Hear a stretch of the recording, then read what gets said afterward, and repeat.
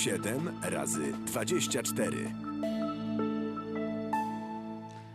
Gorąco witamy słuchaczy Polskiego Radia 24 i oczywiście widzów telewizji Republika i rozpoczynamy polityczne podsumowanie tygodnia. Dzisiaj Państwa i moimi gośćmi są pan poseł Ryszard Czarnecki, eurodeputowany Prawa i Sprawiedliwości. Witam Państwa. Pan poseł Marcin Święcicki z Platformy Obywatelskiej. Dzień dobry Pani poseł Agnieszka Ścigaj, e, Kukiz 15. Witam serdecznie. Pan senator Jan Filip Libicki, Polskie Stronnictwo Ludowe. Dzień dobry. Pan Paweł Sałek, doradca prezydenta Andrzeja Dudy. Dzień dobry, witam. E, I pan Adrian Zandberg, Partia Razem, przewodniczący Dzień Partii dobry. Razem. Witam bardzo serdecznie.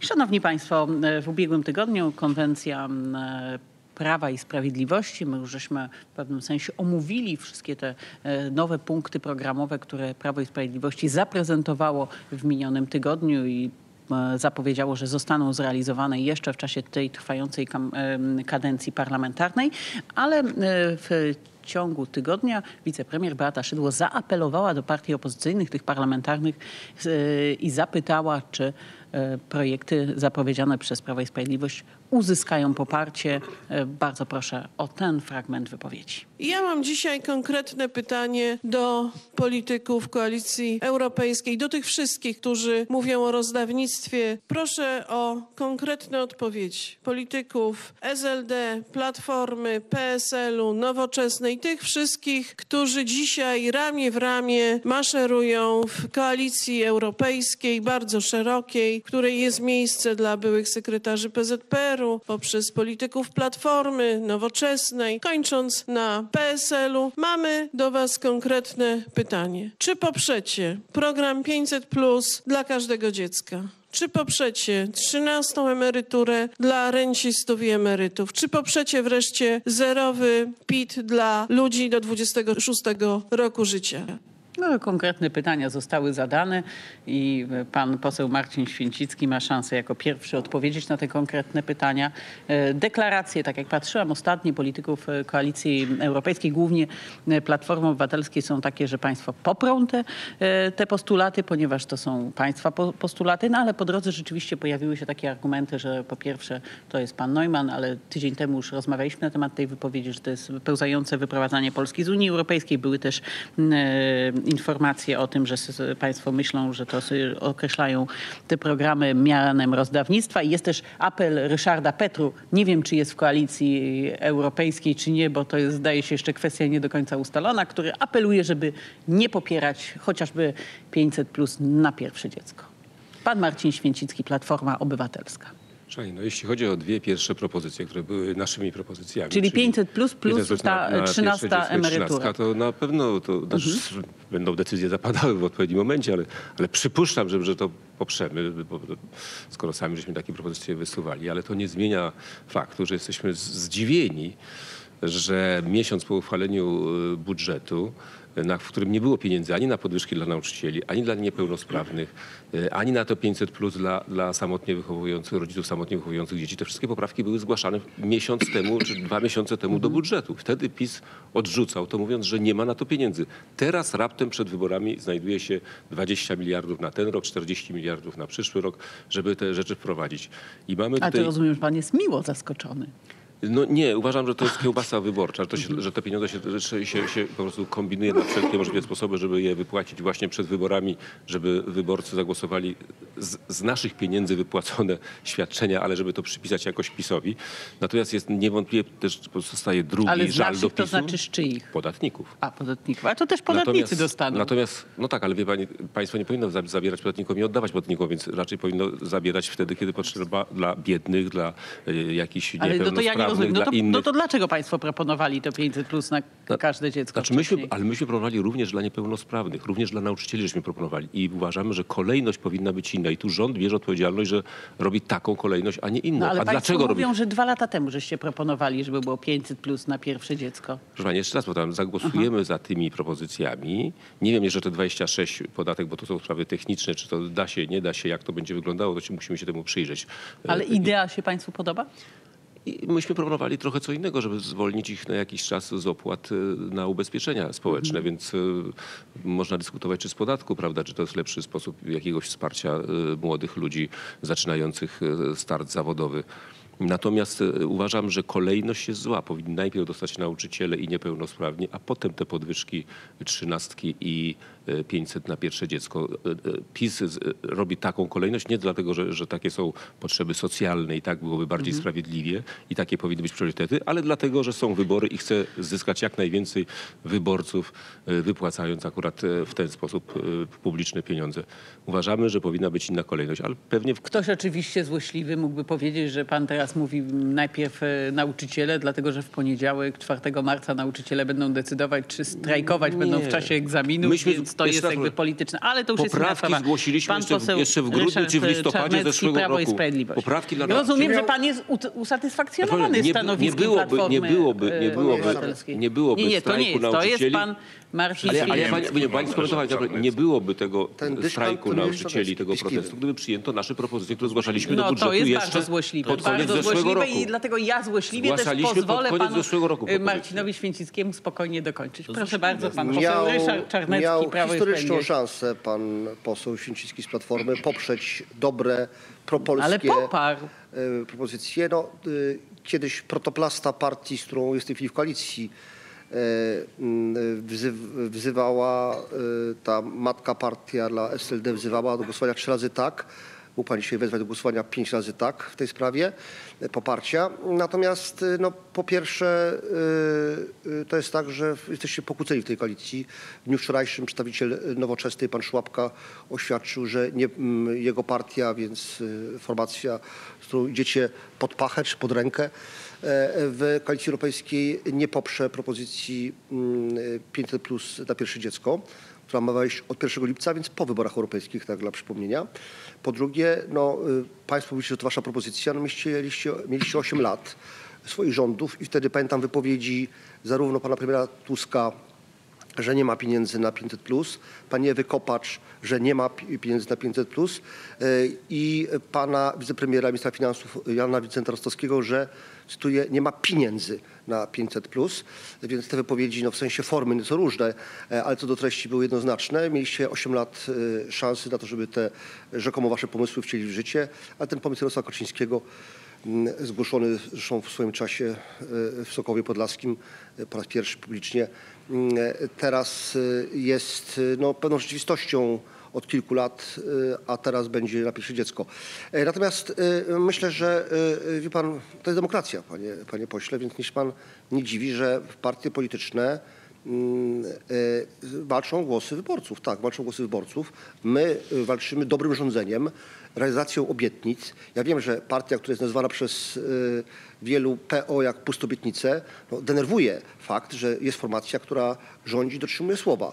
E, No ale może warto po prostu zastanowić się, dlaczego my e, skutecznie realizujemy obietnice, a wam zawsze coś stało na przeszkodzie. Być może jest tak, że tej złej tanecznicy zawadza rąbek u spódnicy i ten rąbek u spódnicy waszej, No nie mówię pańskiej. Teraz Boże, pani tak poseł Agnieszka stanie. Ścigaj, Kukiz Imposybilizm, 15, panie bo pośle, Kukiz imposybilizm. 15 To też będzie mógł się w. Sejmie poprzez głosowanie wypowiedzieć Nie na na temat tych propozycji. Wyście mówili ale dwa przepraszam- miesiące temu. Dwa Przepraszam, miesiące temu przepraszam mówiliście, nie ma bardzo. na to Nie, pieniędzy. nie, ale panie pośle, przepraszam. Teraz pani poseł Agnieszka Ścigaj, Kukiz 15. Trudno nie popierać projektów, które chociaż w jakiejś części przynajmniej e, wspierają polskie rodziny, czy wspierają osoby, które tak naprawdę są w trudnej sytuacji. Wiele lat im nikt nie pomagano. Natomiast to, że poprzemy i to, że rzeczywiście w jakiś sposób mm, pewnie zgodzimy się z tym, że tych pieniędzy w domu powinno być w każdej polskiej rodzinie więcej, to nie znaczy, że nie mamy innej propozycji, która naszym zdaniem jest bardziej sprawiedliwa, nie dzieli ludzi, nie pozwala sobie wybierać, że tym się da, tym się zabierze. Tylko uważamy, że jeżeli rzeczywiście chcemy mieć standardy na poziomie życia Unii Europejskiej, to powinniśmy zacząć od jednego sprawiedliwego ruchu, a no mianowicie pozwolić ludziom się bogacić przez pracę i nie zabierać im, czyli podnieść kwotę wolną od podatku. Czyli dopiero w momencie, kiedy człowiek osiąga minimum na swoje życie socjalne, czyli tak 1500 zł na e, przeżycie, to powinien dopiero zacząć płacić podatki i dzielić się z innymi, z tymi, którzy potrzebują. Jako państwo solidarne mamy obowiązek e, wspierać i pomagać e, osobom, które są w najtrudniejszej sytuacji życiowej. I w pierwszej kolejności, jeżeli patrzymy na transfery socjalne, to jest taka hierarchia. Owszem, możemy dawać wszystkim, jak tylko chcemy, natomiast cały czas słyszymy, że dla jednych nie ma pieniędzy, a dla drugich są pieniądze. I to mnie się bardzo kłóci. Dla mnie te osoby ale- niepełnosprawne są bardzo Ale ważne. Pani I poseł, rok temu... przepraszam, no, te 500 zł na pierwsze dziecko to jest pie- 500 zł na każde pierwsze dziecko w Tak, każdej polskiej redaktor. rodzinie. Tutaj no, nikt nikogo nie dzieli. R- Rozumiem, tylko że y, trafi to też do takich, którzy mają 50 tysięcy, 30 tysięcy dochodu, a na przykład osoba niepełnosprawna, która naprawdę nie ma żadnej szansy, żeby sobie dorobić bardzo często, bo jest zależna od innych Ale osób, pani ma 1000 myśli, że złotych. jeżeli ktoś ma kilkadziesiąt tysięcy dochodu, to tam siedzi, te wnioski wypełnia, jakoś tam przestrzega No, tych, Pani tych redaktor, terminów. znaczy praktyka na 500. drugie dziecko pokazała, Mhm. że wcale te osoby, które mają duży dochód, wcale nie rezygnowały z 500+, plus, więc tak naprawdę to nie działa w ten sposób, że ludzie jak myślą, że ktoś im daje, to czemu mam nie wziąć, tak? No to, to, tak, to tak funkcjonuje, więc rzeczywiście uważam, że y, jeżeli mówimy o transferach socjalnych z naszych podatków, no to Mhm. powinny one być kierowane do osób najbardziej potrzebujących. I ja mam tylko taką propozycję, bo korzystam z tego, że jestem w Mhm. mediach, dlatego że to jest ważna sprawa i dla mnie to naprawdę te osoby niepełnosprawne są ważne. I teraz patrząc przykładem Krakowa, kiedy był strajk osób niepełnosprawnych, ja mam taki apel, skoro rządowo się nie da i nie ma takiej ustawy, którą większość parlamentarna poprze, to być może samorządowo, tak jak Kraków zrobił, wywiązał się z obietnicy, dał osobom niepełnosprawnym te 500 zł, to Warszawa może tak zrobi. I tutaj apel do Platformy Obywatelskiej, ma pełni władzę. Hierarchia problemów podobno była taka, pan poseł tutaj wspomniał, że te osoby niepełnosprawne, to tam, gdzie macie wpływ na władzę, bo przedtem mieliście, nie pomagaliście, to teraz macie w miastach, to może jest szansa, że właśnie w tej pierwszej kolejności właśnie dacie te 500 zł tym osobom niepełnosprawnym i za waszym przykładem trochę zawstydzicie ten rząd tak naprawdę, bo jak następne miasta pójdą tym tokiem, no to te osoby niepełnosprawne No. będą mieć lepszą sytuację życiową. Władza w samorządach daje też szansę na dodatkowe opłacenie, bo przecież ogromna część e, tej, tej wyceny pracy nauczycieli, tak no nazwijmy, zależy od samorządu, więc tutaj też jest pole do, do popisu dla władzy samorządowej. Ale teraz pan senator Jan Filip Libicki, Polskie Stronnictwo Ludowe. Trzy rzeczy chcę powiedzieć. Po pierwsze, Czyli tak, tak i Polskie, tak. Polskie Stronnictwo Ludowe poprze zarówno 13 emeryturę, jak i Mhm. 500 plus na każde dziecko. Co do kwestii e, tego, tego zwolnienia z PIT-u osób do 26 roku życia, to jest kwestia przedyskutowania, jakie rozwiązanie byłoby tu skuteczniejsze, bo to ma dotyczyć osób, rozumiem, zatrudnionych na umowę o pracę.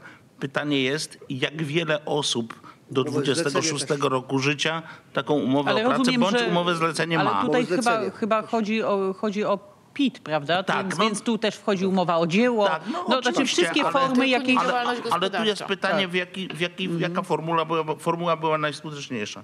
Drugą rzecz, którą chcę powiedzieć, to to, że przez cały zeszły tydzień Polskie Stronnictwo Ludowe proponowało pakt społeczny ludowców jako pewne uzupełnienie i pokazanie pewnej hierarchii problemów. Przypomnę, że pan prezes Kosiniak-Kamysz podnosił w ciągu tego tygodnia kwestię emerytury bez podatku, podnosił kwestię 500-złotowego dodatku rehabilitacyjnego wypłacanego w gotówce, to o czym mówiła pani poseł Ścigaj, i podnosił też kwestię podwyżek w sferze budżetowej, bo to jest rzeczywiście w tej chwili istotna bardzo kwestia. I- I to jest druga rzecz. I trzecia rzecz, którą chcę powiedzieć. Ja tylko uważam, e, że Prawo i Sprawiedliwość może się znaleźć w pewnym kłopocie. Bo ja przypominam, że kiedy się pojawiły osoby z niepełnosprawnościami był strajk w Sejmie i chodziło właśnie o 500 zł dodatku rehabilitacyjnego, to słyszeliśmy, że nie ma pieniędzy. Jak się pojawiła psia grypa, słyszeliśmy, że nie ma pieniędzy. Nie pieniędzy, tylko pieniędzy. E, I jak, się, i jak teraz strajkują nauczyciele, e, czy grożą strajkiem, to też w pierwszym odruchu powiedziano im, nie ma pieniędzy.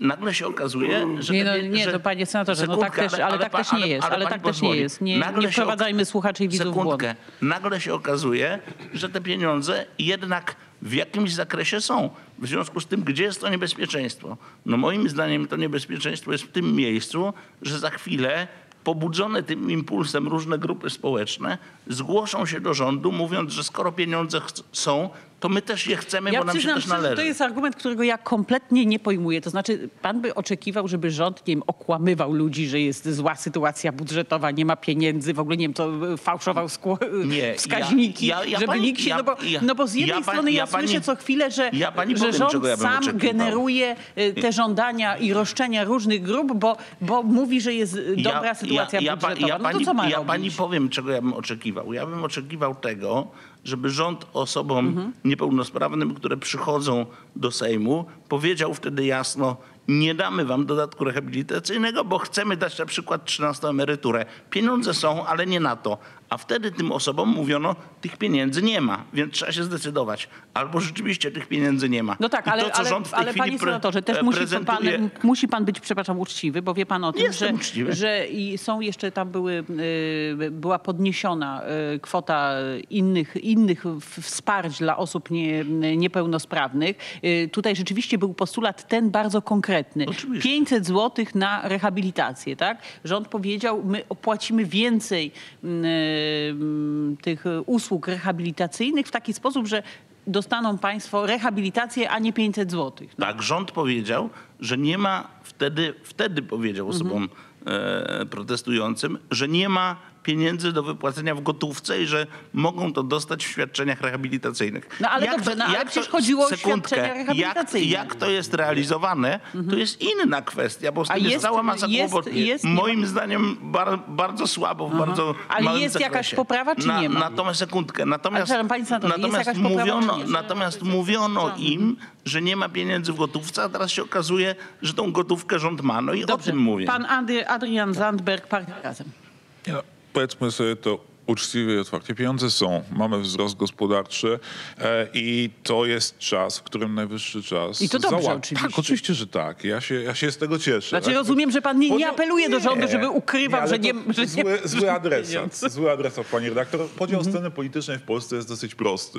Jest PiS, który jest o tyle, powiedzmy trochę socjalny, tak? Są liberałowie, którym zęby zgrzytają, kiedy słyszą o 500+, ale wiedzą, że nie mogą tego powiedzieć, bo ludzie lubią. Nie, no jedni jest- mówią. No jest- jedni mówią. No jest, pan... I jest lewica, która nie jest tylko. za programami społecznymi i chce iść dalej, żeby budować normalne europejskie państwo dobrobytu. Więc e, tak jak to zresztą kilkukrotnie już mówiłem, e, dla mnie problem z tymi propozycjami polega Mhm. na tym, że trzeba iść dalej po prostu. Po Ale pierwsze- może step by step, nie Właśnie tak od razu. Powiem, no właśnie Mhm. na czym polega problem? Problem polega na tym, że właśnie usłyszeliśmy, że ta piątka Kaczyńskiego zmienia się w szóstkę. Nie wiem, czy państwo słyszeliście, że rząd planuje teraz jeszcze dorzucić do tego obniżenie podatków od dywidend. Czyli ci, którzy będą żyli z dywidend, z dochodów kapitałowych, dostaną prezent od rządu. To ja mam propozycję. Zamiast dawać więcej tym, którzy i tak mają dużo, zajmijmy się rozwiązywaniem problemów społecznych. Pierwsza sprawa z brzegu, tak? to znaczy sytuacja mieszkaniowa młodych ludzi. Smutna prawda jest taka, że obiecaliście sporo w Mieszkaniu Plus i nie dowieźliście, panie pośle. A dlatego nie dowieźliście, bo po prostu nie poszły budżetowe pieniądze, żeby wesprzeć budownictwo społeczne, budownictwo na wynajem. Potrzeba 10 miliardów złotych rocznie przynajmniej żeby dać młodym ludziom szansę na obniżenie kosztów mieszkaniowych. A dzisiaj jest z tym strasznie, zwłaszcza w dużych miastach. Młodzi ludzie, którzy idą do pracy, zostawiają 60-70% swojej pensji w rosnących co miesiąc czynszach. Tak? Gnieżdżą się ludzie po 30 w studenckich mieszkaniach, dzieląc pokoje nie mogą normalnie funkcjonować, sensownie myśleć o założeniu rodziny. I tutaj 500 plus samo nie pomoże, bo po prostu sytuacja mieszkaniowa dla kogoś, kto chce się zdecydować na dziecko, no to jest zupełnie kluczowa sprawa. To jest sprawa, którą żeście położyli i to jest sprawa, którą trzeba naprawić. Druga rzecz, która jest bezkosztowa i której nie starczyło odwagi przez 4 lata, no to są śmieciówki. Ciągle milion ludzi pracuje w Polsce na śmieciówkach, ciągle milion ludzi nie ma normalnych urlopów, nie ma normalnego bezpieczeństwa pracowniczego, a wyście tak tle drżeli przed wielkim biznesem, żeście po prostu nie odważyli się tego ruszyć. Tak? No to są sprawy, które trzeba załatwić. Tak? Więc stanowisko lewicy, stanowisko razem jest jasne. Programy społeczne tak, trzeba iść dalej.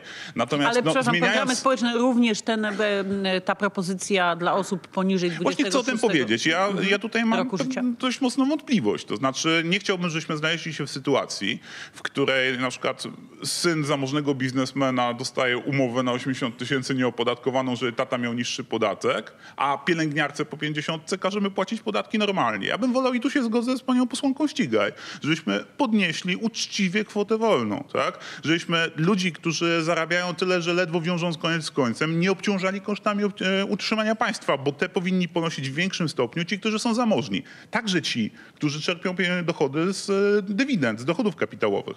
Bo też tajemnicą Poliszczyna, o tym się rzadko mówi w studiach, jest to, że tym się różnią grona, które spotykają się w takich studiach i ze sobą dyskutują, czy politycy od reszty społeczeństwa, że wśród polityków jest nieproporcjonalnie dużo ludzi, którzy mają akcje, którzy mają różnego rodzaju papiery, z których czerpią dochody kapitałowe. Więc warto, żebyśmy mieli to z tyłu głowy. I mi się szczerze mówiąc, muszę powiedzieć uczciwie, ta propozycja wasza, żeby te podatki od dywidend ścinać nie podoba, bo już one są i tak na bardzo niskim poziomie w porównaniu z większością krajów europejskich. Naprawdę nie musimy jeszcze bardziej obłaskawiać tych, którzy mają i tak bardzo dużo. E, Pan e, Paweł Sałek, doradca prezydenta Andrzeja Dudy. Moim zdaniem, Szanowni Państwo, jest tak, że wprowadzenie e, tych zmian to jest dobra sytuacja ogólnie i dla gospodarki, i dla osób, które zarówno te ulgi podatkowe, jak i 500 plus plus 1, tak można powiedzieć, a 13 emerytura to jest dobry moment i zawsze jest taki dobry moment, żeby tego typu e, propozycje wprowadzać w życie realnie. I dobrze, że tak się dzieje. Natomiast trzeba pamiętać o tym, no, że tu jest pewien problem pomiędzy e, opozycją a e, rządzącymi, związany z tym, no, że zbliża się czas wyborów parlamentarnych europejskich, wyborów e, krajowych i no, to wzbudza pewne emocje związane z tym, że jedni drugich że opozycja oskarża, oskarża rządzących o to, że to jest e, za przeproszeniem kiełbasa wyborcza. Ja uważam, że ta kiełbasa No ale to, wyborcza jest, to, to nie się jest, zawsze pojawia. ale to będzie Kiedy by to zawsze... nie było, to by było. Nie róbmy jednego worka Ale nie, okej, Ma pan okej. bardzo różnych opozycjonistów. Rzeczywiście pan tak? Adrian Zandberg okej, tego argumentu nie użył. Okej, okej. Ja chciałem się odnieść do słów pana przewodniczącego Schetyny, który mówił, że to jest e, tylko na wybory parlamentarne, no bo on to akurat wyraźnie powiedział. Nawet chyba nazwał to korupcją polityczną. No to jest chyba trochę nieładne sformułowanie, jeśli chodzi o to, że jeśli gospodarka i e, sytuacja budżetowa pozwala na to, żeby jednak skierować e, te środki e, do społeczeństwa, przecież społeczeństwo też wypracowywuje i produkt krajowy brutto, płaci podatki, no i powinno korzystać z tych wszystkich No ale tu jest możliwości. jeden ważny argument, co chyba należy podkreślać. Część tych środków powraca do budżetu Oczywiście, że tak, państwa. Dlatego, że ono tak, napędza one, konsumpcję wewnętrzną. To- to- to jest znikają, oczywiste. Przynajmniej jedna trzecia, być może nawet więcej, w jakiejś formie jakichś podatków powróci. No Oczywiście, chociażby w że postaci tak, podatku jest- VAT, no ale nie tylko. Jest to, jest to kwestia tak zwanego rynku wewnętrznego i on powinien e, być, się rozwijać i tej konsumpcji wewnętrznej. Natomiast to, co w tej piątce Kaczyńskiego jest bardzo ważne z mojego punktu widzenia i wiele razy o tym mówiłem, to jednak jest sprawa przywrócenia połączeń autobusowych, e, tak zwanych starych PKS-ów. Nie wiem, czy w tej formie akurat będzie funkcjonować, ale to rzeczywiście jest bardzo dobry pomysł, konieczny na terenach wiejskich, na terenach niezurbanizowanych na polskiej prowincji. Mówię o tym bardzo pozytywnie, oczywiście o polskiej prowincji, e, dlatego że dzisiaj występują ogromne problemy z tym, że e, czasami dzieci nie mogą dojechać do szkoły, ludzie mają problem z dojazdem do pracy i przywrócenie tych połączeń autobusowych jest ogromnie ważne. To jest problem, którego nie widać może w wielkich ośrodkach, aglomeracjach, gdzie transport publiczny jest 30 dobrze kilometrów rozwinięty. od Warszawy już widać, A, naprawdę. bardzo- 30 ale- kilometrów od ale- Warszawy ale- ale już tutaj na te- przed dwa zdania jeszcze się zapisać do głosu, do autobusu, To, do to każdej chwilę, sołeckiej. to za chwilę. W, na, w następnej, każdej- do każdej- nie ma wsi sołeckiej, tylko chyba będzie do pan każdego sołectwa. e, Do każdego pan, sołectwa, panie przewodniczący. Ale to jest bardzo dobry postulat. Tak, ale ja dlatego- 30 kilometrów od Warszawy już ten problem jest. To nie jest tak, że to dotyczy jakichś rejonów, e, przepraszam, nie wiadomo jak odległych, gdzieś tam w ściana wschodnia i to nieprawda. Centrum Warszawy również, e, przepraszam, centrum Polski również ma z tym problemy, pewno, pewno generalnie Dlatego- w ogóle cała Polska Dlatego, pani redaktor, ja zawsze podkreślam ten element y, z piątki Kaczyńskiego, który mi osobiście, Mhm. zaznaczam, się najbardziej podoba, dlatego, że to jest bardzo poważny problem, on musi być rozwiązany i dobrze taki pomysł Dobrze, jest. szanowni państwo, państwo będą mogli za chwilę jeszcze powrócić do tego Dosłownie tematu. Za, za, czy, z- po, inaczej, Bo to jest ważna pozostajemy... sprawa, żeby to się stało. Moment, za chwilę będzie pan mógł o tym, e, na ten temat powiedzieć. E, Pozostajemy przy wyborach do Europarlamentu, o tych układankach. Różne ciekawe informacje się e, pojawiły. Będziemy pytać, kto na liście, kto z kim, e, albo kto dlaczego nie z kim, bo to też e, jakieś takie wątpliwości się mm, pojawiają. Ja tylko powiem, że pan poseł Zgorzelski z Polskiego Stronnictwa Ludowego w jednym z programów powiedział, że nie będzie ukrywał i będzie szczery. Zresztą bardzo, bardzo dobrze, bo to szczerość e, jest bardzo, bardzo ważna. Nikogo nie trzeba do tego przekonywać, ale że również jedną z motywacji przystąpienia do koalicji europejskiej był po prostu brak pieniędzy. Pan poseł powiedział, że mm, tak naprawdę PSL, gdyby chciał swoją kampanię ogólnopolską tworzyć, no to nie jest w stanie stanie uciułać więcej niż 100 tysięcy złotych. E, No to jest oczywiście dla każdego e, człowieka tak po prostu to jest duża kwota, ale z punktu widzenia prowadzenia kampanii wyborczej ogólnopolskiej nie jest to duża kwota. Do, tego, e, do tej wypowiedzi pana posła Zgorzelskiego odniosła się e, pani Beata Mazurek, wicemarszałek Sejmu i rzecznik Prawa i Sprawiedliwości. Bardzo proszę.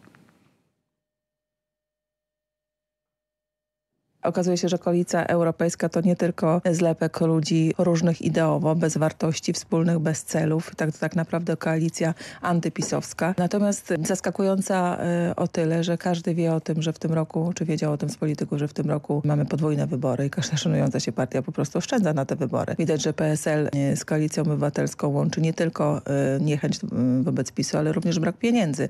I szczerze powiedziawszy, myślę, że efekt finansowy powodował to, że do tej koalicji antyeuropejskiej inne ugrupowania przystąpiły, które tych pieniędzy nie mają. No to w takim razie jeszcze jedna wypowiedź, która też dorzuca jakiś nowy wątek do tej dyskusji, kto i dlaczego w koalicji m, europejskiej. Tutaj też były członek, chyba tak należy powiedzieć, y, Polskiego Stronnictwa y, Ludowego, lider zespołu Bayerful. Y, W programie y, Minęła 20. Tam Państwo usłyszą dwa głosy. Jeden to głos Michała Rachonia, prowadzącego tą rozmowę. Drugi to właśnie y, pana, y, który jest y, główną twarzą tego zespołu Disco Polo. Bardzo proszę. Czy to oznacza, że rozłam wisi w powietrzu w PSL-u? Wisi. Naprawdę, jestem o tym przekonany, że większość członków e, PSL-u nie zgodzi się. Jeżeli nie, nie tak otwarcie jak ja, to nie zagłosuje. Powie dosyć. No, ale, ale dobrze, no przecież decyzja została podjęta większością, tam zdaje się 8 głosów było przeciwko. Ale e, to no, naczelny a pan mówi o komitet wiszącym w wykonawczy. powietrzu rozłamie. A tutaj na dole te 140 tysięcy członków, których nas jest, nikt się nas o to nie pytał. My żeśmy mówili, że my nie chcemy wchodzić. Pisaliśmy SMS-y, pisaliśmy maile, że nie wchodzimy. Nam się to nie podoba. Nikt tego nie słuchał. No oczywiście nikt inny nie może się jako pierwszy wypowiedzieć niż pan senator Jan Filip Libicki, Polskie Stronnictwo Ludowe na temat tych dwóch problemów, czyli problem finansowy, ale też e, problem ten, który został zasygnalizowany przed chwilą, że być może e, będzie potrzebna, znaczy, że, że dojdzie do jakiegoś rozłamu. I tu też e, przypomnę wypowiedź, bo to też taka się wypowiedź pojawiła pana posła Zgorzelskiego, który powiedział, że być może będzie potrzebna lista rozbieżności pomiędzy ugrupowaniami w koalicji europejskiej. Bardzo dziękuję. Uroczo zupełnie uśmiecha się do mnie pan europoseł Czarnecki. Bardzo jest mi miło. content, Bardzo jest mi miło, a teraz, ale teraz powiem, ale teraz powiem tak. Ponieważ w tej wypowiedzi zarówno pani Beaty Mazurek, jak i pana posła Zgorzelskiego pojawiło się słowo szczerze. Więc ja też postaram się szczerze. Ja O, myślałam, że to wszyscy Jak szczerze. wiadomo, jak wiadomo jestem, jak wiadomo jestem od czterech miesięcy członkiem Polskiego Stronnictwa Ludowego, więc nie jest mi do końca znana sytuacja finansowa stronnictwa. Trochę mi się nie chce w to wierzyć, bo jak powiedział tutaj pan Śnieżyński, mamy 140 tysięcy członków. Nie wydaje Ale mi się, żeby te potworne. 140 tysięcy członków nie mogło wygospodarować 100 tysięcy złotych za kampanię, o No, której wie mówił, pan, ta- taka którym- wypowiedź padła, O której tak? mówił pan Taka poseł Zgorzelski. taka wypowiedź Więc padła. Być myślę, że, myślę, pan że, Grzyb- więc myślę, że jego trzeba myli. Mhm. dokładnie o to zapytać. Natomiast dobrze, ja ale- mogę powiedzieć, zaraz, ja pani Nie odpowiem. trzymajmy się tych 100 tysięcy, Dobrze, tylko nie czy trzyma- rzeczywiście mo- motywacja finansowa nie, znaczy była ja, jedną ja z po tych, raz które pierwszy słyszę o motywacji finansowej, bo ja byłem na tej Radzie Naczelnej i mogę powiedzieć o dwóch elementach tej motywacji. Tam absolutnie nie pojawiał się argument finansowy. Tam zabrało głos dwudziestu paru mówców i e, z tego powiedzmy pięć głosów było za tym, żeby iść samodzielnie, ponad 20 było za tym, żeby iść w dużym bloku. I jakie argumenty podnosili ci, którzy mówili o tym, żeby iść w dużym bloku? To były dwa argumenty. Jeden to strach przed polexitem i że w dużym bloku łatwiej można się przeciwstawić PiSowi, który prowadzi do polexitu. Ja w tej chwili nie mówię, czy to jest argument prawdziwy, czy nie. Ja mówię, co mówili mówcy. I druga sprawa, o której była mowa, to była mowa o tym, bardzo mocno zapadła tym, zwłaszcza tym, którzy zabierali głos, e, powiedziałbym, mniej znanym politykom.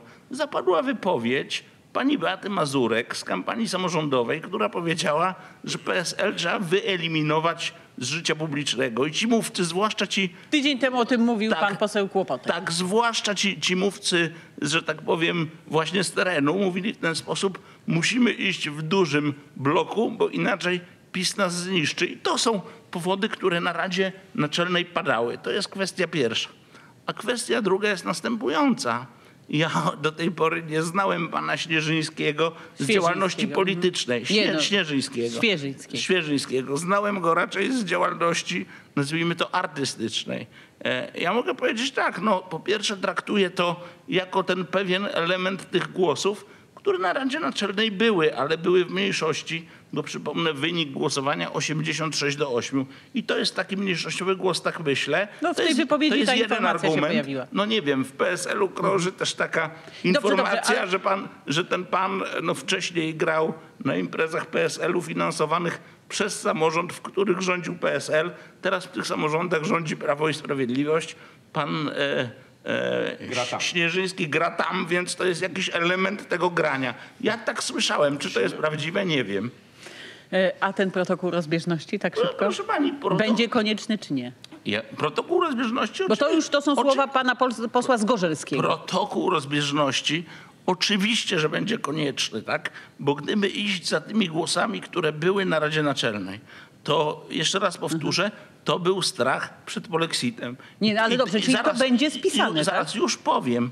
E, Był to strach przed polexitem i to jest oczywiście główna myśl tego tworzenia jednej Mhm. koalicji. Natomiast, że są rozbieżności, to jest oczywiste zupełnie. Są rozbieżności chociażby w sprawach światopoglądowych. Nie, no, dobrze, ale I to, to musi być spisane. A, no właśnie, to, I musi to być. musi Dobrze, być to pan Adrian, oczywiście. Adrian Zandberg, partia Razem, chyba też była kuszona, a za chwilę, panie pośle, była też chyba kuszona do koalicji europejskiej, ale jakoś się nie skusiła, przynajmniej na razie, ale chyba się nie Ja skusi. nie, ja nie, tak? chcę, nie chcę tutaj jakoś e, z, z wewnętrznymi problemami PSL się e, mm, zajmować, bo nie jestem od tego ekspertem.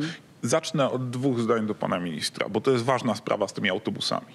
To znaczy dla mnie jest to także dlatego ważne, że od lat kwestia transportu publicznego to jest jeden z filarów programu Partii Razem i jeszcze pamiętam kampanię samorządową, w której w debatach spotykaliśmy się z przedstawicielami e, PiSu i tam od, od nich padały stwierdzenia no, w stylu Platformy pod tytułem nie da się. No Więc tylko jak chcę powiedzieć dwa zdania o tym, dlaczego to jest ważne i jak zrobić, żeby się dało. Otóż, żeby się dało, to nie można popełnić tego samego błędu, który popełniono w Mieszkaniu Plus, czyli tam uwierzono, że deweloperzy to załatwią. Tylko trzeba powołać samorządowe instytucje transportowe. I one muszą dostać publiczne dofinansowanie, żeby, tak jak to zrobiono w Czechach, zbudować realną bazę samochodów, dzięki której będzie można zorganizować ten transport. I przed czym bym przestrzegał? To przed takim pójściem na skróty pod tytułem rzucimy trochę pieniędzy i dofinansujemy kilka prywatnych firm, one nakleją sobie naklejkę PKS i będziemy mieli odtrąbione, będziemy mogli powiedzieć, że jest zrobione. Bo żeby to się udało naprawdę, a to jest super ważna sprawa, bo wykluczenie komunikacyjne to są miliony ludzi dzisiaj w Polsce, którzy tak naprawdę są przez to zepchnięci do roli obywateli drugiej kategorii. To państwo i samorządy muszą wziąć długoterminową odpowiedzialność za zapewnienie komunikacji publicznej. Przestać traktować ją jak dobro rynkowe, a zacząć ją traktować jak usługę publiczną, którą trzeba dostarczyć po to, żeby inne sfery życia społecznego mogły normalnie funkcjonować. Bo te zaniedbania, one mają wiele, wiele lat. To nie jest tylko kwestia rządów ostatniej Platformy. One tak naprawdę sięgają lat 20, tak? kiedy pozwolono na to, że ten e, system komunikacji publicznej na prowincji zaczął się rozkładać. Jeżeli chcemy to odwrócić, to tego nie da się zbyć tylko PR-owym powiedzeniem, rzucimy tutaj miliard, coś tam dofinansujemy. Dobrze było też, że to się spinało, bo eksperci mówią, że to jest przynajmniej 5 miliardów, żeby realnie można było z tym ruszyć do przodu. Ale Dobrze. też forma organizacji. Pan Marcin I to wydaje mi się naprawdę ważne, Platforma żebyśmy mówili o konkretach. Europejska, e, e, nie przepraszam, o nie Platforma, Koalicja. Europejska. Ja Już nie- tych ja nazw wolę było tyle. to Przepraszam. Przepraszam, panowie. Pan e, poseł Marcin Święcicki, Koalicja Obywatelska Tak, i Platforma Koalicja- Obywatelska. Koalicja Europejska. Przepraszam, tak. A pan były prezydent Aleksander Kwaśniewski mówi, że to się rozpadnie, że to się nie utrzyma. Znaczy koalicja europejska się utrzyma w wyborach europejskich na pewno. No, ale powiedział, że po wyborach się już nie utrzyma. Zobaczymy, jakie będą wyniki tych wyborów, czy będzie Mhm. A czyli sukces, pan czy nie się będzie. skłania ku temu, że jeżeli e, sukcesu nie będzie, będzie drugie miejsce, to się nie utrzyma. Koalicja europejska jest zawarta na wybory europejskie. Na wybory parlamentarne krajowe będzie następna koalicja zawierana. E, Za każdym razem są jakieś inne trochę zasady, ale ja mam nadzieję, że ta koalicja europejska e, odniesie sukces i że również otworzy drogę do dobrego porozumienia na wybory Czy parlamentarne. jest pan za tym, żeby ten protokół rozbieżności zapisać? Y, W wyborach europejskich nie, nie, nie bardzo rozumiem y, protokołu rozbieżności. Y, Akurat sprawy europejskie są jednak na ogół wspólne. I jeśli ten wyborca wiejski będzie miał do wyboru, czy partię z wielkimi osiągnięciami i tradycjami PSL, czy PiS, który sobie nie radzi ani z chorobą świń, ani z nadzorem weterynaryjnym nad wołowiną, a e, No, to zablokował to sprzedaż ja panu ziemi, odpowiem panu, e, ale nie pana załatwił nic. to nie ma nic wspólnego z wyborami europejskimi. No przepraszam, ale... ale No ale, przepraszam. no.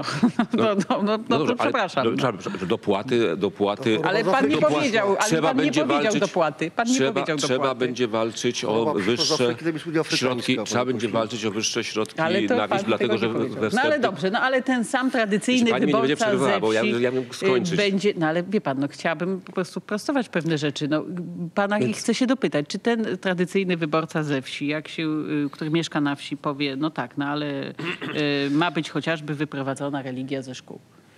Y, Tym się nie zajmuje Parlament Europejski w ogóle i w ogóle, w ogóle to nie ma w żadnym programie koalicji wyprowadzenia religii ze szkół. To nie jest wspólne stanowisko e, koalicjantów w sprawie nauki religii. Tutaj są zdania jakieś podzielone zupełnie i w ogóle to nie jest programem. To, Unia Europejska nie zajmuje się religią w polskich szkołach. Naprawdę, za- za- zapewniam wszystkich e, słuchaczy i widzów. Natomiast jeszcze raz podkreślam, że, że trzeba będzie w tym Parlamencie Europejskim zapewnić wyższe środki na rozwój obszarów wiejskich, co są wstępnych propozycjach są potwornie ucięte. PiS nie załatwił wyższych e, dopłat, które obiecywał, prawda?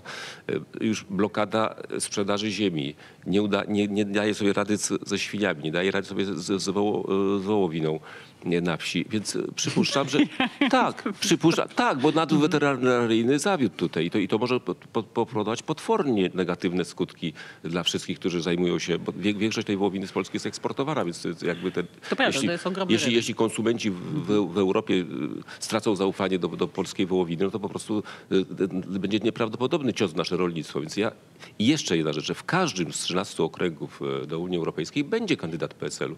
Więc ja jestem przekonany, że jednak wyborcy na wsi podejmą mądrą decyzję, będą głosowali Mhm. Dobrze, na pan kandydatów poseł PSL-u, a Ryszard nie na PiS, Czarnecki, który Prawo i rozwalił politykę rolną. Sprawiedliwość.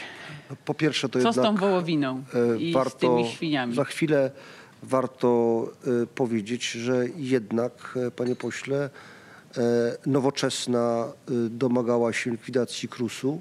Nie słyszałem, żeby zmieniła zdanie, a, e, a więc ubezpieczeń rolników. No myślę, że dla PSL-u jest to, był to przynajmniej postulat do tej pory ważny. E, Tutaj ta sprzeczność jest taka, powiedziałbym, fundamentalna. E, Partia teraz chciała postawienia Kościoła katolickiego do którego większość wyborców PSL-u pewnie chodzi co tydzień yy, postawienia Kościoła katolickiego przed Trybunałem w Hadze, E, więc jest to kolejny sygnał dla PSL-u, że tutaj e, ta koalicja, no być może jest tak, jak mówił pan szczerze, e, pan Gorzelski, że tańcowała bida z nędzą, że nie ma pieniędzy, w związku z tym musieliście na, na ten, mm, dosiąść do tego stołu, w którym e, stołu zastanowionego, e, przy którym Platforma biesiaduje.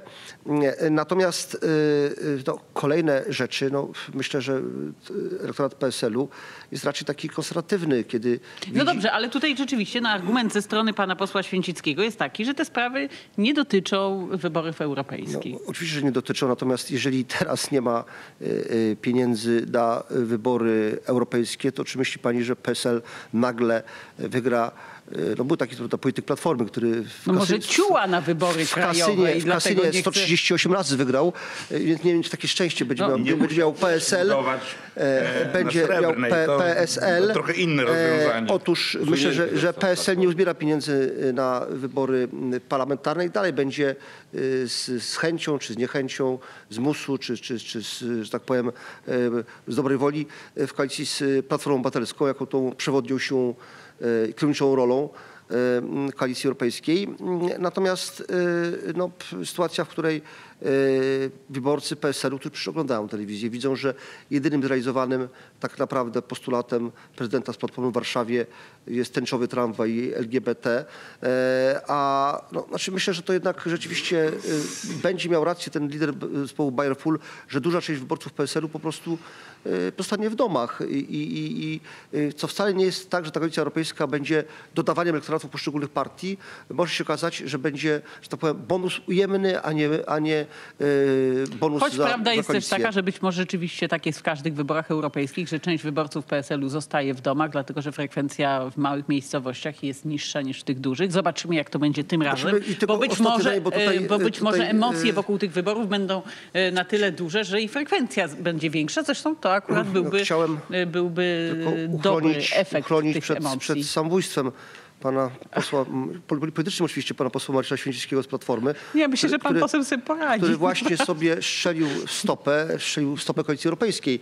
Mianowicie zaczął mówić o dopłatach dla, dla rolników. No, panie pośle, pan doskonale pamięta, a chyba pan nie chce pamiętać, że za dopłaty dla polskich rolników to mm, e, odpowiadało dwóch ludzi, którzy właśnie teraz będą liderami waszych list. E, Pan Miller, jako ma, ma być jedynką w Wielkopolsce, pan może być jedynka w Warszawie, e, premier e, rządu SLD, PSL i, i Ministerstwa Zagranicznych rządu SLD, PSL, którzy ustalili w 2003 roku przy okazji traktatu akcesyjnego, że dopłaty dla polskich rolników będą e, dwa, dwa i pół raza niższe niż dopłaty dla farmerów holenderskich, włoskich czy niemieckich. Przepraszam, moment. Niemieckich. Pani poseł, ale pani chwilę. Wy mówi, że nie takich, można. Takich Nie, no ludzi bierzecie na listy, więc miejcie Ale- do nich pretensje o dopłaty. Szanowni Państwo, ale to za chwilę skończy No się tym, że Państwo będziecie między sobą dyskutować, a tu... Owszem, pan zaraz powie, naszego że dopłaty dla rolników w Polsce były trochę wyższe niż rolników litewskich. To prawda, ale były 2-2,5% Ale może ja powiem, co ja powiem, a nie pan powie, co za ja chwilę mówię. Za chwilę pan powie, Tak. teraz powie pani poseł Agnieszka Ścigaj. Ladies first, panie pośle, ladies first. Tak, za chwilę pan powie. Ja jeszcze dorzucam temat, bo już nie będziemy tej króciusieńkiej wypowiedzi pana Włodzimierza Czarzastego cytować, że do euro trzeba przyjąć jak najszybciej. To taka było, takie wezwanie A, było przy podpisaniu porozumienia koalicji europejskiej. To bardzo proszę, żeby... Pani redaktor mi tu poprzeczkę podniosła tych, tej ilości tematów, ale może rzeczywiście e, nie, nie będę za dużo czasu poświęcała PSL-owi, no bo to są wewnętrzne jakoś tam specjalnie problemy, aczkolwiek ja mam jeden wielki żal i jakby też państwa, No ale jeżeli jesteście na- partie się łączą ze względów finansowych, no to, to, to już nie jest wewnętrzny problem partii, tylko to, to jest to jest, jakiś... to jest, po- to, to jest redaktor, to jest zjawisko. straszny problem Polaków. Partie, które od lat czerpią korzyści z subwencji partyjnych, nie No, mają pieniędzy przecież- i wydają pieniądze, bo to przecież- nie są pieniądze ani Platformy, ani PiSu, No, ani przecież- PSL, to są pieniądze Polaków. Ale przecież PSL takie pieniądze dostaje. No właśnie i to jest dramat, bo tak naprawdę jakby się Polacy dobrze zagłębili, to, y, to od lat te partie cały czas biorą pieniądze od nich. To nie są pieniądze, które zarabiają, to są ich pieniądze i jak się nimi Nie, gospodaruje. To tak naprawdę no. dwa zjawiska. No jedno to jest takie, że ci bogatsi mogą sobie być może kupić e, tych mniej zamożnych, ale też pytanie... Ale za pieniądze ty pyta- Polaków, ty za pieniądze pytanie jest też takie, no jak, się, jak te partie gospodarują swoimi środkami, no skoro później chcą gospodarować wszystkimi nie, nie, no środkami nie. w budżecie, no to jeżeli no właśnie, swoimi nie, nie potrafią, swoimi, to jest pewnie jakiś problem. Polaków. No Dobrze. właśnie, cały czas to A podkreślam. Natomiast y, jedna rzecz do pana Mhm. senatora, bo uderzyło mnie to, że państwo podjęliście tą decyzję, y, że baliście się, że PiS was zniszczy, tak? I teraz y, to co wam za różnica, kto was zniszczy, Platforma czy PiS? Bo ja tak nie bardzo rozumiem, bo jak się państwo przyłączyliście... Platforma.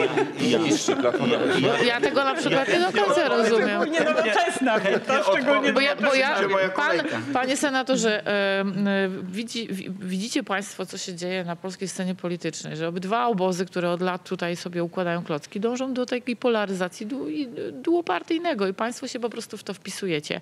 Mało tego, chcecie na, do Europarlamentu wprowadzić osoby waszą siłą fajnymi młodymi ludźmi, których w swoich szeregach macie, bo często tak można zaobserwować. Chcecie wprowadzić osoby, które partycypowały najpierw y, i korzystały bardzo dobrze z systemu komunistycznego, potem z trzeciej RP, a teraz będą bardzo dobrze y, się urządzać y, w, za pieniądze w Unii Europejskiej. No naprawdę, na litość boską. Przecież Unię Europejską trzeba reformować. Tam trzeba nowego głosu, ludzi, dla których kształtowana będzie przyszłość.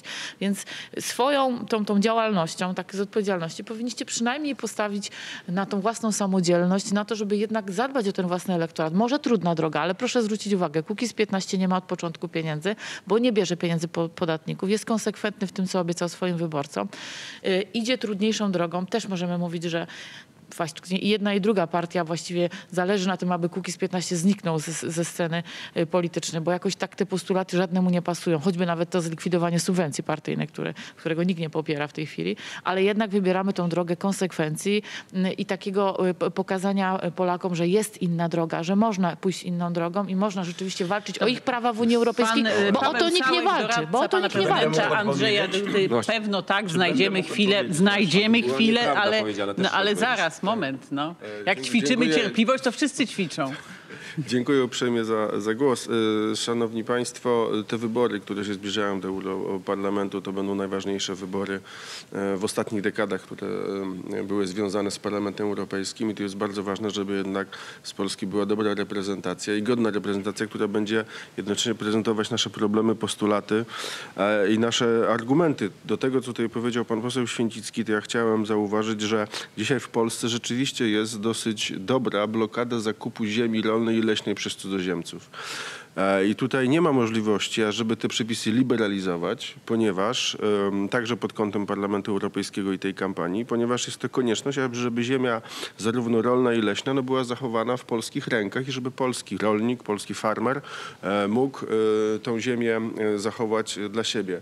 To jest jedna rzecz. Co do tego, co było mówione o sprawie związanej z PSL-em, no to jednak Naczelny Komitet Wykonawczy, bo chyba tak nazywa się to ciało, przegłosował miażdżącą, Rada Naczelna. przepraszam, Rada Naczelna, e, miażdżącą ilością głosów, e, 70 chyba do 80. 86 do 8. No właśnie, e, jednak e, wejście we współpracę z Koalicją Europejską, co świadczy o tym, że nie było e, w środku, m, w tym organie takiej siły, która mogłaby przynajmniej doprowadzić do tego, że lekką przewagą ta decyzja by była podjęta o wejściu do m, Koalicji e, Europejskiej. Na pewno wśród, e, w mojej opinii, wśród szeregowych członków PSL-u no jest pewien dysonans i jednocześnie ogromne zdziwienie e, związane z tym, e, jaki program no jednak ci ludzie będą musieli bezpośrednio, będąc na pierwszej linii frontu gdzieś w terenie, e, reprezentować, czy podczas zwykłych rozmów z ludźmi dyskutować, no bo to jest, to jest, na pewno, to jest na pewno trudne. Natomiast ja się obawiam, że może ta decyzja była trochę koniunkturalna, podyktowana i sprawami finansowymi i tym, że jednak no,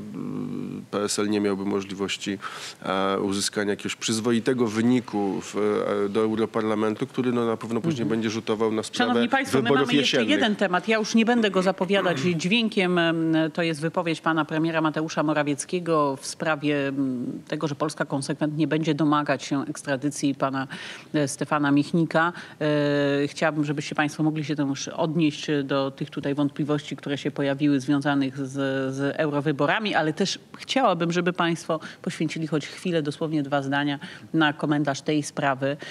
Wiemy, że sytuacja w tej chwili jest taka, że sąd e, szwedzki nie zgodził się na tą ekstradycję, uznając, że te zbrodnie, które popełnił pan Stefan Michnik, e, jeżeli, by popeł, jeżeli to by zostało nawet udowodnione przed sądem, to one w myśl e, szwedzkiego prawa się przedawniły. Polska stoi na innym stanowisku. Są to zbrodnie przeciwko ludzkości. Tak są przynajmniej określane przez polskich prokuratorów, więc ni- przedawnieniu nie ulegają. I teraz sprawa dotyczy tego, czy szwedzka prokuratura będzie chciała się odwołać od tej decyzji sądu, by sąd innej instancji raz jeszcze e, przyjrzał się tej sprawie. Pan poseł Marcin Święcicki ma prawo się odnieść, ale bardzo bym prosiła również o przynajmniej jedno zdanie w sprawie e, ekstradycji.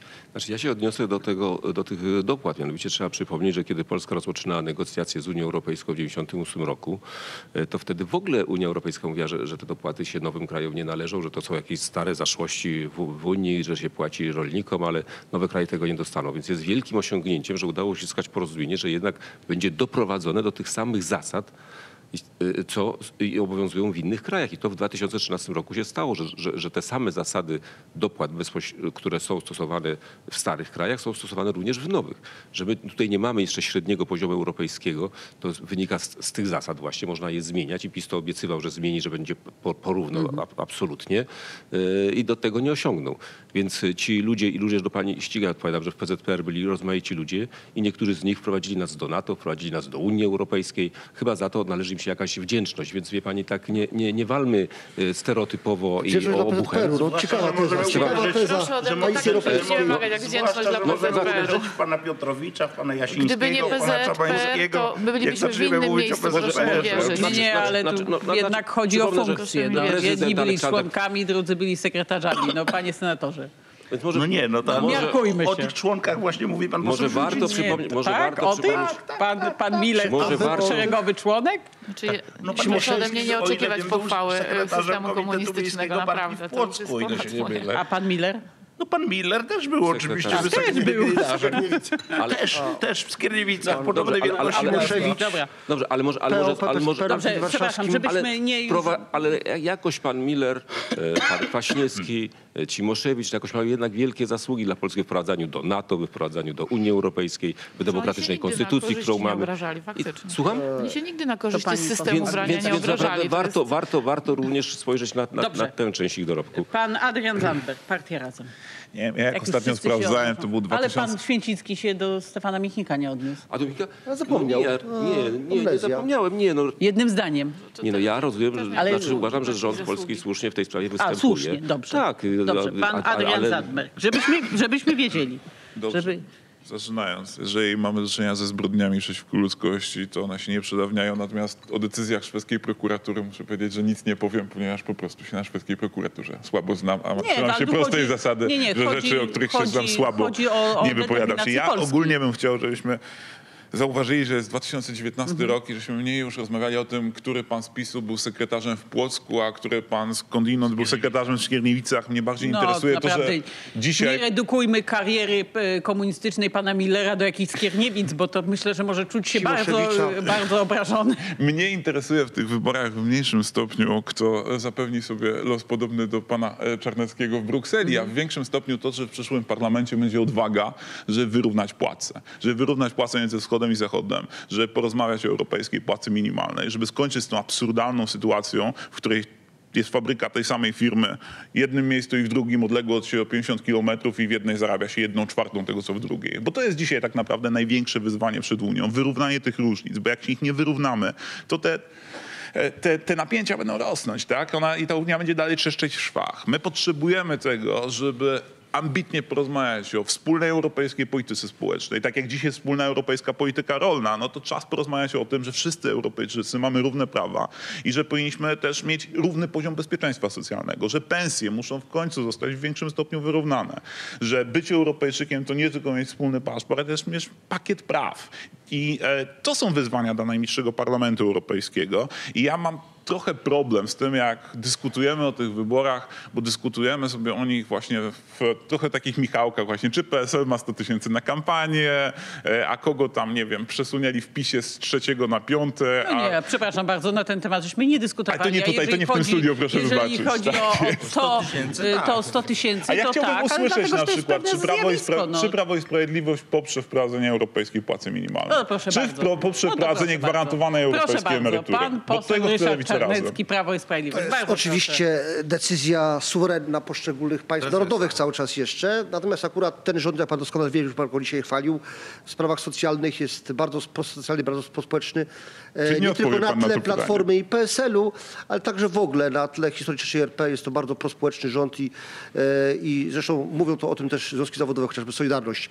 E, wracając do To Stefana- tak czy nie, panie mistrz, panie znaczy, nie, sprawa płacy minimalnej to jest sprawa poszczególnych krajów członkowskich. No stąd moje pytanie, czy poprzecie dążenie europejskiej płacy minimalnej? Wyrównanie kwestia- płac między Europą znaczy, Wschodnią My i jesteśmy Zachodnią. przeciwni, aby Bruksela w coraz większym stopniu zjadała kompetencje państw narodowych. W związku z tym o tym, jaka będzie y, płaca minimalna, będzie decydować polski rząd, Czyli nie polski chcecie parlament. europejskiej płacy Nie, My akurat, my akurat No bardzo, mocno, powiedzieć. bardzo mocno podnosimy y, płace minimalne. Y, Niech pan po, zapyta związkowców, jak ten rząd wypada na tle rządów poprzednich pod tym względem. Po- po- podnieśli- polityki, polityki, polityki społecznej. Odpowiadając na pani dyrektor pytanie o pana Stefana Michnika, prokuratora odpowiedzialnego za zbrodnie e, Sędziego. sądowe e, na e, działaczach polskiego podziemia niepodległościowego. E, bardzo dobrze, że polski rząd tą sprawą się zajął. Rząd poprzedni tego nie uczynił. E, bardzo źle, że kraj członkowski Unii, jakim jest Szwecja, która zwraca uwagę e, poprzez swojego ambasadora w Warszawie e, na temat, e, zwraca uwagę Polsce, polskiemu rządowi Mhm. Dobrze. na temat LGBT. Pan Szkoda, że w tej senator sprawie Jan Filip przychylił. szybciutko, żeby każdy Dziękuję. się Najpierw odpowiedź pani poseł Ścigaj. Ale to E, w taka szybka. Dobrze, w Koalicji Europejskiej nikt, nikt nas nie chce zniszczyć, a PiS chce nas zniszczyć jako PSL. To jest odpowiedź pierwsza. Odpowiedź druga jest następująca. Spór między prokuraturą a sądem szwedzkim jest sporem prawnym. Ja bym oczekiwał, że prokuratura polska przedstawi wreszcie takie uzasadnienie, że uda się sąd szwedzki przekonać. Bardzo bym tego chciał, żeby tak było i żeby do tej ekstradycji doszło. I wreszcie trzecia sprawa, bardzo szybko. To, ale Ja- to, żeby to było jasne, to nie prokuratura polska występuje przed e, sądem szwedzkim. Dobrze, ale, Niestety ale jest tu to, żeby, przekaźnik. to, tak żeby więc ze, to... Mhm. to, żeby ze strony polskiej ten wniosek był tak przygotowany, żeby uzyskać, pozy- uważa, że to nasza wina, żeby tak? pozytywną To uzyskać ocenę szwedzkiego sądu w tej sprawie, która doprowadzi do ekstradycji. Pani poseł I ostatnia, Agnieszka nie, nie, nie, ale ostatnia rzecz Ale no chciałem... naprawdę nie, chciałabym, no, żeby wszyscy, No, gdybym no, no. mówił o Michniku na końcu, to by mi pani pozwoliła, ale powiedziałem Nie, jako no, drugie. błagam, bo ale co nie pan- chcę powiedzieć jedną rzecz, bo na tej konwencji opowiada? PiSu która, która była, gdzie przedstawiono piątkę, była także mowa, że PiS jest gotów wyrównać Dobrze. dopłaty polskim rolnikom Agnieszka z budżetu Ścigaj, pani polskiego. Agnieszka No to to 15, oznacza, cisza, panowie, że, że cisza. to, to No, oznacza, że PiS Cisza. zakłada, że nie No, uzyska no nie, no, podniesienia po tych dopłat z budżetu unijnego w przyszłej kadencji. Uwagę pan dostaje. Uwagę pan no. dostaje. Jak proszek Dobrze, X pan się ale. Jeszcze raz. Pani poseł Agnieszka Ścigaj, Kukiz 15, szybciutko. Jesteśmy po czasie. A jeszcze pan Paweł Sałek. Musi jedno tak zdanie. Pana, bo ja naprawdę, proszę mi wierzyć, nie mam nic, nikogo nie chcę krzywdzić za to, że był tam czy inne zasługi w, był w PZP, że ja bym nawet ordery wszystkim dawała, tylko proszę mi wyjaśnić, bo jeżeli pan ma firmę i ktoś, pan ma menadżera, który tą firmę rozwalił, do wszystkiego sprzedał cały sprzęt i w ogóle źle nią zarządzał, potem pan kupił jeszcze raz tę firmę, to sadza pan tego samego me- menadżera, kupił pan ten sprzęt, od nowa pan zainwestował w tą firmę. No nie, także to, o to mi chodzi. Pan to mnie Paweł nie chodzi o to, Sałek, żeby doradca pana prezydenta Andrzeja Dudy, pan Paweł że Sałek. ordery Pan się Paweł to, Sałek. ale już Pan nie Paweł Sałek. powinien być ścigany, to jest pierwsza rzecz. I druga rzecz, bo jesteśmy po czasie. Tak. Po roku 2020 dla nowego Parlamentu Europejskiego ogromnie ważną sprawą będzie niestety ta ambitna polityka dekarbonizacyjna, która także dotyczy Polski. I tu stawiamy kropkę. Ryszard Czarnecki, Prawo się i Sprawiedliwość. Marcin. Święcicki, Platforma. Obywatelska, pani poseł Agnieszka Ścigaj. Kukiz 15, pan senator Jan Filip Libicki, Polskie. Stronnictwo Ludowe, pan Paweł Sałek, doradca prezydenta Andrzeja Dudy i pan Adrian Zandberg, przewodniczący partii Razem Katarzyna Górska. Dziękuję i zapraszam za tydzień.